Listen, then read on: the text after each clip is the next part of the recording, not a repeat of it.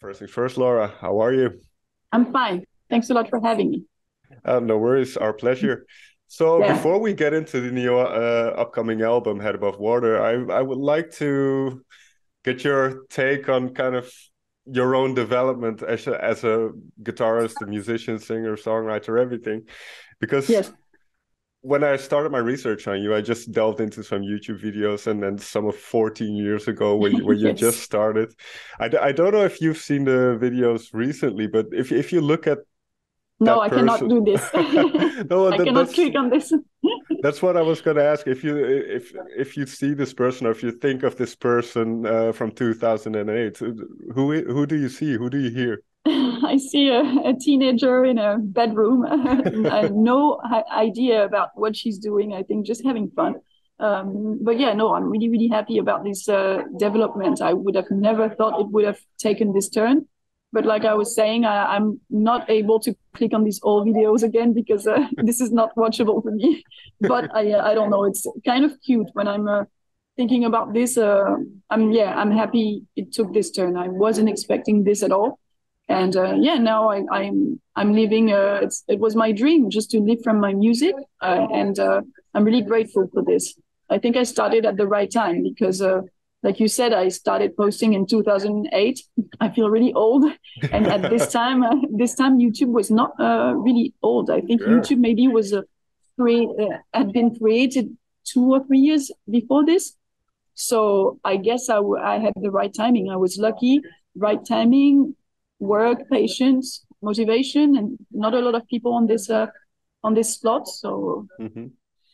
And then, then also as a, a, young guitarist, that, that can be very inspirational for people who also try to pick up the guitar. So, so what if you, especially if you think of the early days of, of you developing your skills on the guitar, what were the things that you were focusing on? And as you mentioned, 2008, YouTube had just come out in a, in a sense, mm-hmm. and you kind of get this platform where you can share your music yes. with people. So, so what was that like, and what was that kind of those initial things that you tried to focus on? Like, so I think I, I was trying to do. I, I was really motivated by other guitarists, other YouTubers okay. um, uploading covers, and I wanted to do the same. I thought, okay, they managed to play Sweet Child O' Mine solo or mm. Sultans of Swing solo. This is my challenge. I'm going to try to do it and see if I get some feedback and and comments. And I was really excited every time I was uploading a video to hear about what people were thinking. Um, so yeah, yeah, I, I think um, I think my uh, I was really motivated by learning uh, solos and like kind of the technical aspect of it, I would say. And now I'm less into uh, the guitar hero thing, but okay. at the time that's really what I was into. Can, can you share one guitar solo that that you found very difficult to learn? Uh, um, yes, I think it's not a solo, but I think the most uh, the most technically challenging um, uh, video I posted was a the a John Five cover, the one called "Damaged." It's an instrumental song, and it's like a solo the whole song. um, and this one I never thought I would be able to play, and after a few, because I I kind of tried playing it and learning it uh, too early, I think, and I was mm. completely uh, not motivated anymore because I thought, okay, this is not possible. And then I got back to it again a few years after, um, and I thought, ah, maybe this is manageable now. So I put a lot of time into this, and I managed. But after a few years of not practicing this song, of course, I'm not able to play this now. But I think, um, I think if uh, if I yeah, if I put a, a bit of time, um, if I put a bit of time uh, in this again, I would certainly be able to play it again. But this was the most challenging. What did you personally get out of the guitar? I still do, I suppose. But what what do you? Is it, is it very kind of almost meditative? What do you get out of playing guitar? For me, uh, I, am not even sure I can put words uh, on this. I think it's just a, a, part of my body. You know, the, mm. the, guitar it feels natural. If I didn't have this, I would feel naked. Uh, even on stage, for me, it's hard to uh, at the moment we are trying to we're working on our new show our, our new um, set for the next tour. And we are working on some moments where i don't have the guitar and this is totally new for me. I, I don't see myself without a guitar and i don't know what to do with my body when i don't have a guitar. My my my uh, arms are just hanging you know and just i i'm uh, I, I don't know. It's uh, i don't know how to behave. So um I, I wouldn't say it's a therapy, but it's a big part of who I am.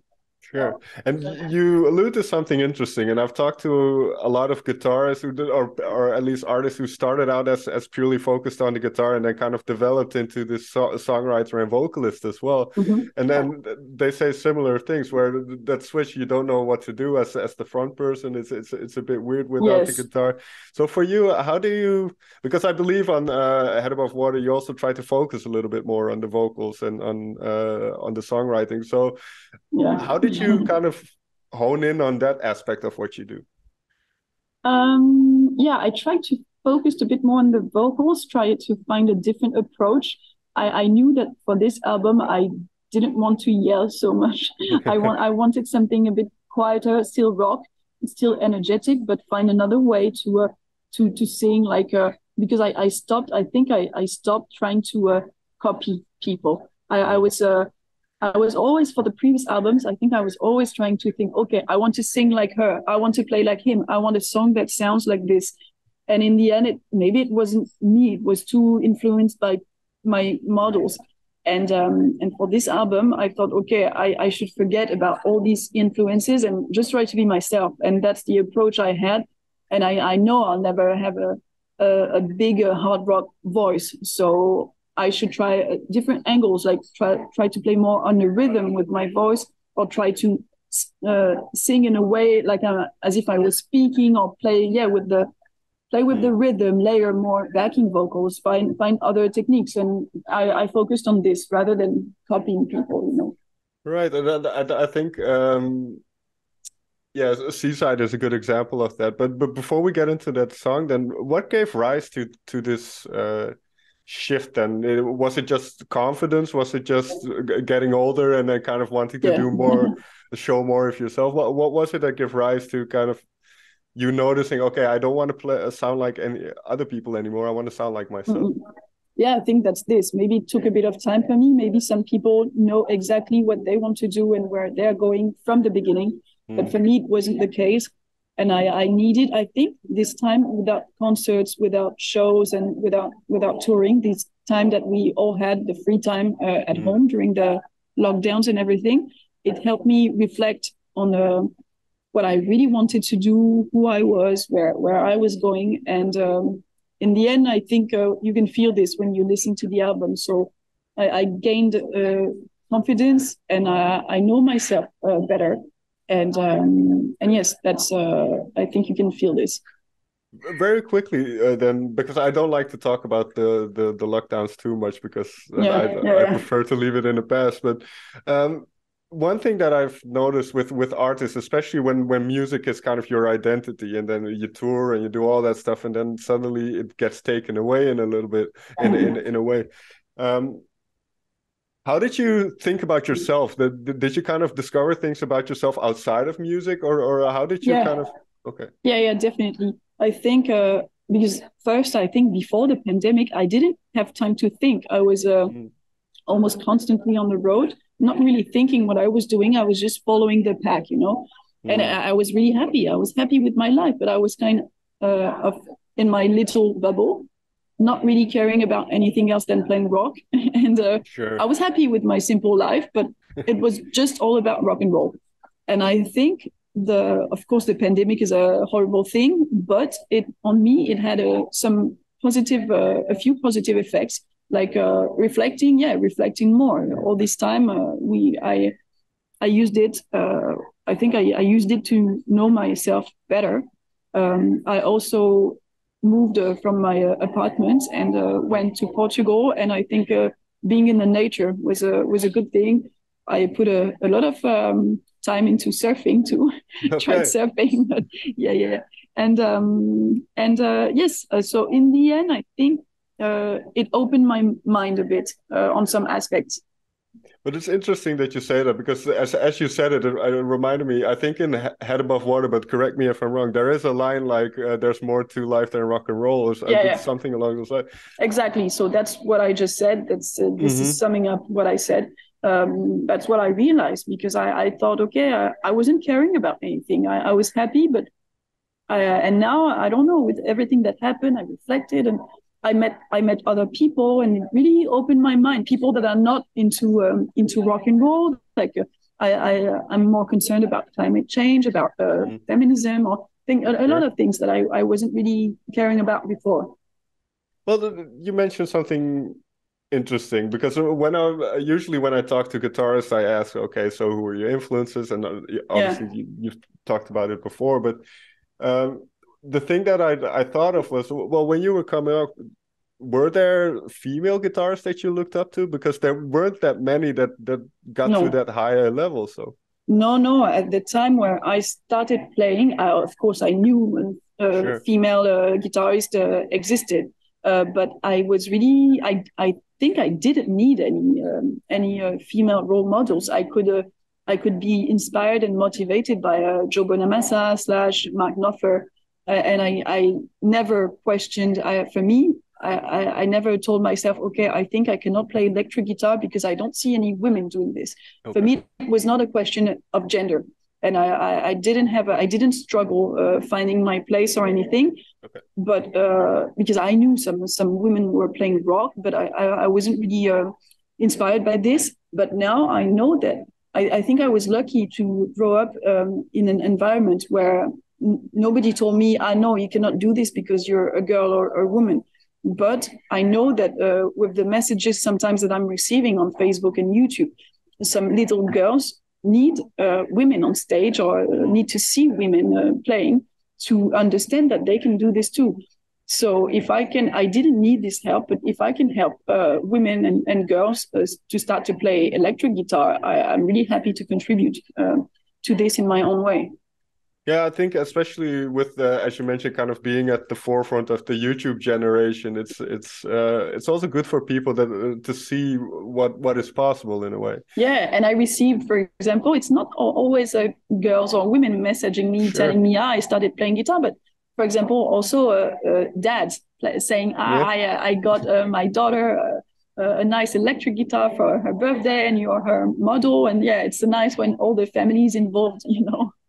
no, that's very great to hear. And this reminds me of something else that maybe it fitted better earlier, but um, talking about kind of you coming up because the way I see it, you it feels like you have kind of a foot in both worlds in the in the new uh, kind of digital era of, of yeah. music, but also and the traditional. Yeah, you have mm-hmm. kind of like this old soul who wants to, I, I yeah. suppose, still do some things analog and kind of have that old school sound. So, how do you balance those two worlds with, yeah. with social media and everything? This is the tricky part, balancing, because the, the problem is that now, these past years, I've been so involved with my uh, live project, my, uh, my uh, mm-hmm. the albums and the touring part that I was kind of neglecting the YouTube and the social media, I think, okay. because on this part, nobody's pushing me. Nobody's telling me, okay, you have a deadline, you have to post this video on this day. I should be doing this myself, but I don't. So um, I really want to try to balance this more because I know there, there are, I could do a lot of uh, more. I could do more, way more. So I think uh, we're going to tour a lot the next, uh, within the next months to promote mm-hmm. the album from March to um, to uh, late September. I think we're going to be really busy on the road, but I really want to uh, put more time and more effort in my uh, YouTube and media after this. I think I'm going to try to separate the year in two blocks, you know, like uh, the traditional uh, sure. on the road uh, block and the like virtual, try to try to share with the people from on the internet. And obviously, you're gonna promote the album on that tour. So let's get into the album a little bit, bit more. I, I mm-hmm. mentioned Seaside earlier, and we, we talked about kind of uh, how you use your voice. So with that yes. song in particular, it's a it's a very you, you mentioned you didn't want to scream anymore, and that's that's yes. this is a good example of of trying to be a little bit more um, subdued Quiet. in a way. Yeah, yeah, yeah. So, so mm-hmm. what was the approach with this song? Did that kind of happen naturally? Yeah, I really think I just thought, okay, I'm gonna sing what I can sing in terms of. Uh, technique. Um, and uh, I want to layer more backing vocals if I want to create a dark uh, atmosphere. Yeah, I don't have to scream. I, I can do it in other ways. So yeah, Seaside uh, can be an example of this, even though it's this song is not the most rock of the album. Mm-hmm. But um, but yeah, yeah, I try. I just try to think differently. But in the end, it came. Na- it really came naturally. That, that song Seaside, uh, you mentioned going to Portugal. Was it written there? No, actually, it was written before I went. Okay. so, but I then I thought, okay, I think this song has a spot uh, in the album because it's coherent with the with um, the theme, you know. Because I I thought um, I wrote this album, most of the album near the ocean, so I would like to have this water related uh, theme.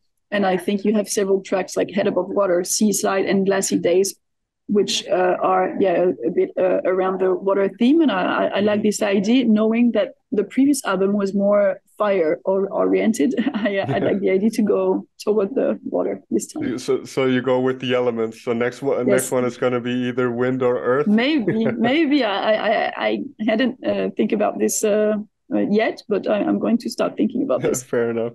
Uh, what is it about the uh, this is going to sound ridiculous maybe but what uh, what is it about the ocean then that that is inspiring or just being think, away from home and i think it's a bit like uh, like music and like guitar. It's uh, or playing music it's a bit un- unpredictable you know? It's it's a bit like life. You know, I, I like this aspect. It's nature. You cannot control it. You have to accept.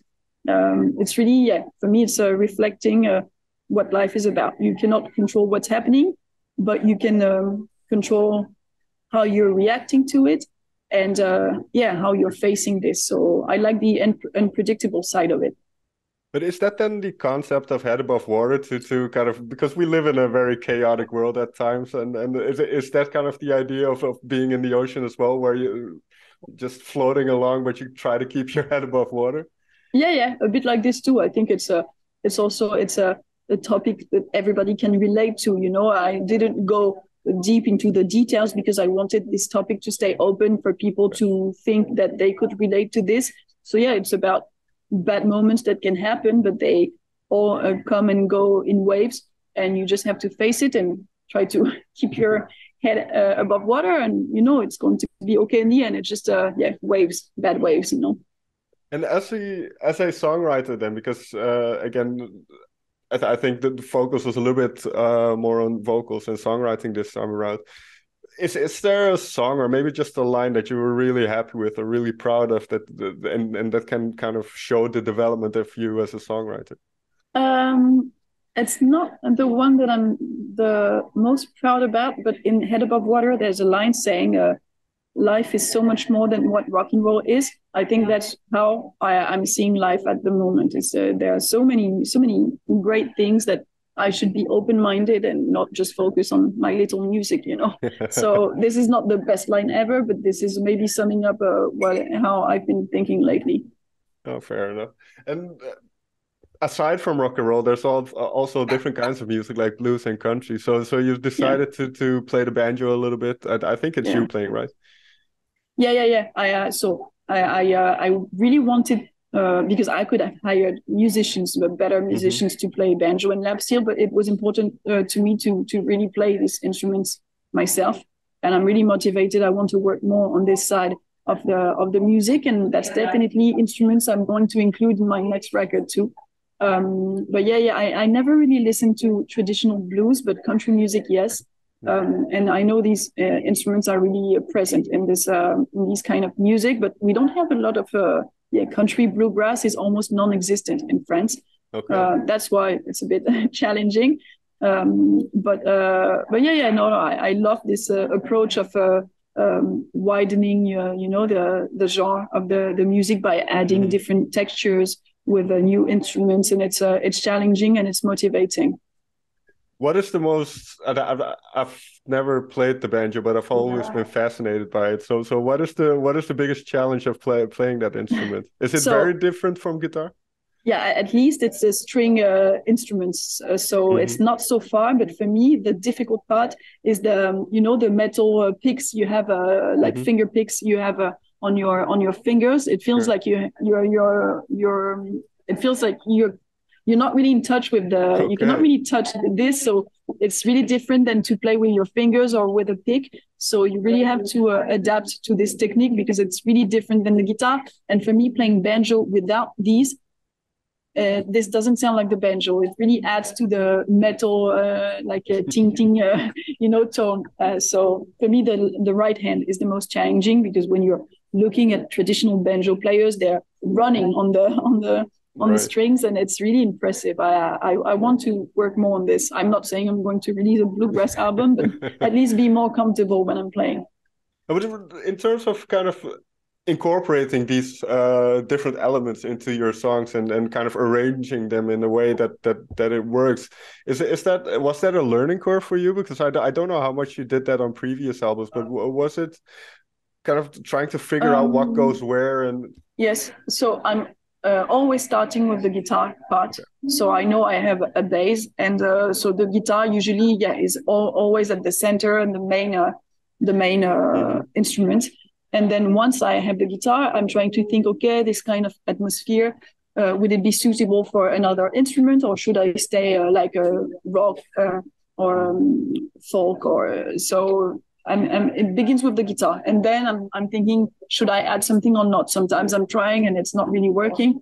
So i'm removing and uh, sometimes it's come it come later when i'm with the band and we are trying to arrange and rehearse together. And then uh, they they're also um, um, sometimes uh, offering you know uh, suggestions and uh, sometimes I, things that i didn't think about or couldn't see. It's also good to have uh, other um, sure. opinions and then I suppose you mentioned uh, preparing for the live shows. Uh, that that brings along with it uh, uh, new ideas, I suppose, as well, because you kind of you have to translate yeah. what you did on the album to the record, and that it can't yeah. be an exact copy always. So, but that's tricky because on the album I played a lot of things. So there there I, I, there are a lot of um, guitar uh, guitar parts. There are there's banjo, there's lap steel, there are a lot of backing vocals Mm. And in on stage, I cannot be four people. So the, this is uh, we decided to rearrange a few songs in order to play them live. Otherwise, uh,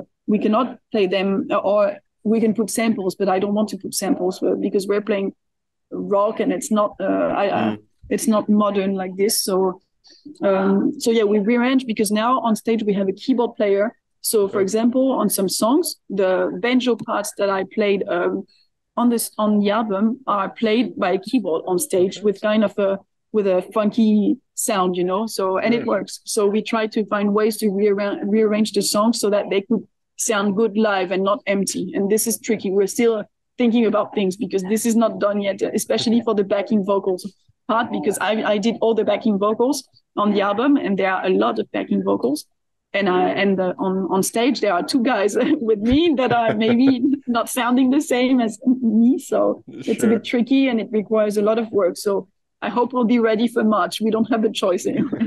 that was going to be interesting to to see how you figure it out. I think. Yeah. And and I mean, in terms of the techni- uh, technological possibilities, one of my favorite guitar solos, solos of all time, I I later found out it was played on a keyboard. so, ah, okay. it was a, it was a yeah, song by Bob Marley. There's a there's a guitar okay. solo in it, but I, I've, then I saw a documentary and it was just played yeah. on the keyboard. So it can, it can sound perfect, you know. The, the, yeah, yeah. Sometimes you can be really uh, like it's. Uh, tricked by this. And I think it was kind of the same for me. I thought there was a guitar solo on uh, I Want to Break Free by hmm. Queen. Mm. But I think it's a, a synthesizer solo. it's not a guitar. I, I, I have to recheck. But maybe he's playing this live guitar, but the studio is a is a keyboard, right. and, uh, and I, I didn't know this. For me, it sounded like a guitar. no, but that's the fun thing. I think in in the modern day we can be creative with those things, yeah. and, and you can figure it out. So finally, then um, you mentioned the type of music that you make isn't that big in France, and now I believe you do play a lot in uh, Germany, and it's it's it's doing well there. Here in the Netherlands, there's I don't know, it's it's not the most popular, but there's a, a lot of rock uh, being played and uh, opportunities for for your type of music. Um, how do you see kind of your place in music in in that sense? Because yeah, music is always kind of going through these phases and and stuff. So so yeah. how, where do you see yourself fitting in? Uh, it's it's hard to have the. I, am not. I'm I'm not sure. I can really figure this out. It depends on the countries. Mm. Uh, here, the yeah, the the rock scene is not so big, not so popular. So at least uh, there, it's not popular, but there are not many bands doing this. So we have mm. a, a, a, slot there, and we've been touring. We've been mostly touring uh, in France uh, since uh, I started. So we have the the fan base here that we can of, of course we can increase this but we have a fan base here but i know that the countries uh, next to us are really into more into rock and roll, and that feels good sometimes to go play for the German uh, crowd or the the Holland crowd, or yeah, it's uh, it's really different. But and you're not so far, so I don't understand why it, there's yeah. such a big difference between the cultures. Um, so um, so yeah, yeah, it's hard to I, am just playing my music and then we're navigating and we we we discover every time we're going to tour in, mm-hmm. a, in a, new country. Sometimes we we also um, uh, notice that the crowd is not the same. You know, for example, in sure. Spain, I, I noticed that people are a bit younger, more women uh, in the audience than um, than in France, for example. It's really uh, I don't know. It's a I'm playing my music, and then uh, we'll see what what happens. But uh, I don't want to uh, to study this uh, this topic. But yeah, it's uh, we'll, we'll see, we'll see. Well, one last thought then, because you mentioned uh, in the beginning of the interview, as a young girl, your dream was to be able to to make a living playing music, and and now you do, exactly. I suppose. And then the type of music that you make obviously is uh, America inspired. So is is that mm-hmm. now the dream then to to go over there and to play there? I would love to. Maybe we're going to be able to do this this year. I'm not okay. sure, but uh, we'll see because we've never taught there. Um, uh, and uh, and now with this new album, maybe there's an opportunity. We'll see. We still don't have a booker for mm. for um, the the US, but uh, I hope it's going to happen. So so uh, yeah, I, I, want to tour as uh, as a yeah as long as possible, and if we can discover new new places, I'm always in. Sounds good. Laura, thank you so much for taking the time to talk with me. Thanks a lot. Thanks. Thank you. And I hope to see you on the road uh, this year.